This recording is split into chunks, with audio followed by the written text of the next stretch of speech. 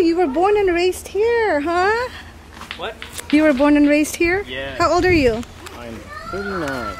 But we don't tell anyone that. Okay. no, I'm just thinking if you're old enough to be my.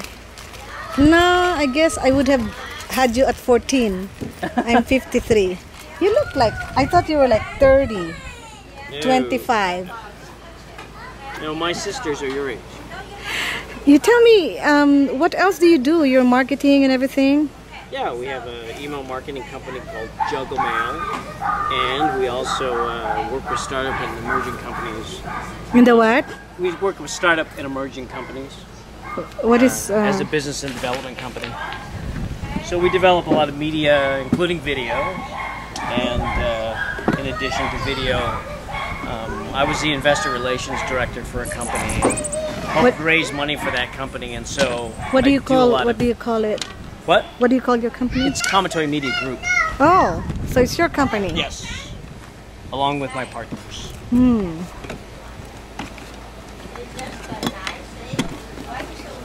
So where did you learn to do all this stuff? I learned from a. Uh, actually, learned from a.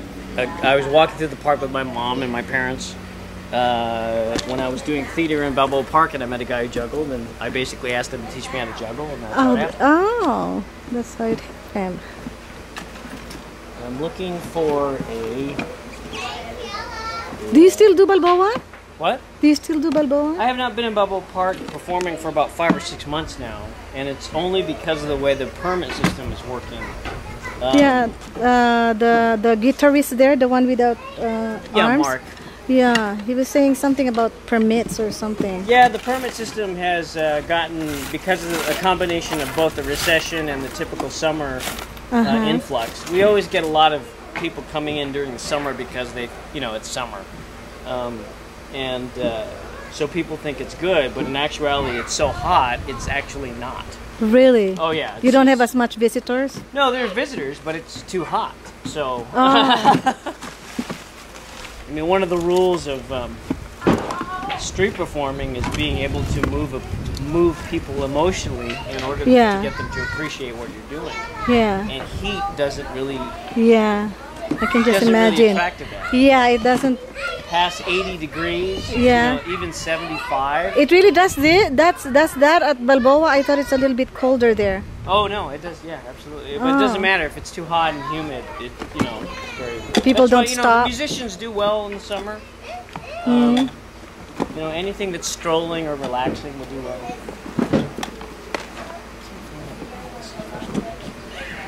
I always bring people, and I said, "She's not. He's not here. He's not here." I wanted, and it, somebody told me you were at the Seaport Village. Yeah, we're at, and then I'm at Seaport when I when I can be as well. But we've been so busy with the other business that I have Uh-huh. not. And again, it's hot. so.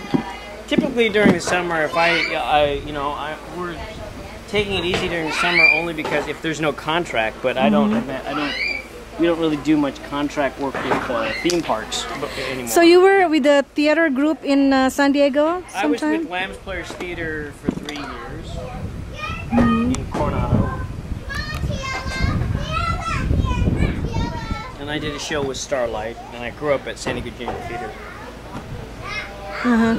You can tell um, what you do, your, your business and whatever, because a lot of these are business people. You know, tell them more about you know. I mean, you're, just know you're in a you know group of prospective clients too. What's that? Look, look, look, look! He's gonna do some some uh, stuff. You know, my friend actually told me you can stay at her place too, at her house. I mean, so you don't have to spend for a hotel and Right. accommodation, and you know, and then you can ride with us because I am uh, riding my my van. If you you know, Yeah, I have friends. I do have friends in Vegas. okay, so But it's the travel that's. yeah, you're gonna lose. I know, I understand you're gonna lose hours. When are you coming back? Um, Sunday, Sunday? yeah, because you know, I That's not too bad. Yeah, we leave Friday and then we come back Sunday. You know, probably my classmates are just gonna uh, convoy. What class was the? It was St. James in the Philippines, was it? Or? Yeah, St. James High School in Subic, Zambales. And it's like last year there were like 500. Can you believe? Oh, I it's mean- a general gathering of everybody. Yeah, not not just batch. Not just it's one class. it's a high school. Right. But it's not just one class. Yeah, and the high school is 69 years now, so Oh, you can just imagine. yeah. Okay, um, that's his ball. You can just touch it and stay there. Don't take it anywhere, okay? I don't want him to lose any of his stuff. Look what he's gonna do. Look. Look. He's gonna do some juggling. He was doing, but the time I was in the household, oh, my dad was, my dad was. So you were born here. I was born here. Oh. And so were my sisters. And so was my mom, actually. Father came over in 47, 48. Oh. So nobody among you speak Tagalog? No, Filipino. Just, just my dad. Oh. Just because by the time he was in the household, I mean, he. But when I was growing up, he was doing musical theater and opera. Mm. So that's where he spent his time. And then that's where I spent my time.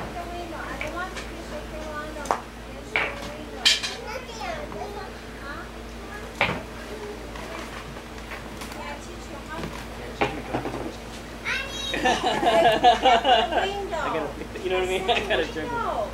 Oh, you gonna are you gonna help him? Yeah. Almost, almost. Now let's do the other side.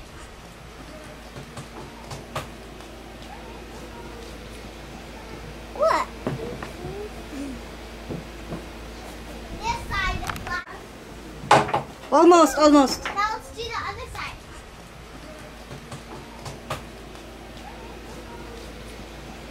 What? This side is black. How many years are you with with, with Subic? Long time. Twenty? Yep. Hey, How about my sister?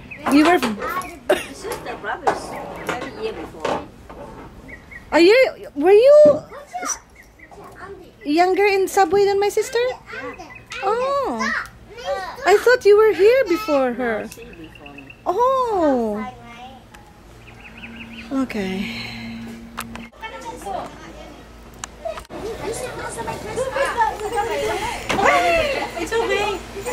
Ladies and gentlemen, please welcome Mr. David Kamatoy. Not yet, not yet, not yet. I just want to let you know, I met uh, David. Uh, I first saw him at the Balboa Park. He he performs there with all the other artists. Um, and um, I was so impressed. Siyempre, kasi Filipino. Eh, he was, take- he was, uh, Filipino? yeah, he's Filipino. I was born here in Santa Cruz, Laguna. He's Filipino, but uh, you know his gig was was good because he he's good. I, I like a juggler that talks. He's a comedian too, and he's a businessman. He owns. Uh, tell about your I own business. an email marketing company, and we also I work with startup companies for about 12 years, but um, doing everything from raising money to blah blah blah. You know, entrepreneurs. We do everything. Yeah, he's an entrepreneur. He's a comedian. He's a juggler. He's an artist. Uh, he was in the theater. Which theater? we were with Lambs Players Theater in Coronado for about three years. So, Yeah, and I grew up. My dad, my when my dad is actually uh, a lyric tenor. So when I was growing up, he was singing at Starlight and uh, at the opera. so you sing? No, well, it's a little bit, but Dad does. Okay. All It's right. only funny because I grew up, uh, you know, like in Balboa Park, in the cottages. I don't know if you're familiar with all the cottages in Balboa Park, the international cottages. You know, and so if you know that area, it's it's very funny because, you know, it's like houses from the Philippines and Ireland and the United States. And my dad had such a beautiful tenor voice that it didn't matter what house he walked into, they wanted him to sing. So, you know, here I am, this ten-year-old kid walking in with my dad, heavy, you know, Filipino uh, walks into uh, you know the the uh, House of Ireland and they're like, "Sing, Danny Boy." So so it's Filipinos are talented people. anyway, ladies and gentlemen, do you want to see Social? Yes. Yay!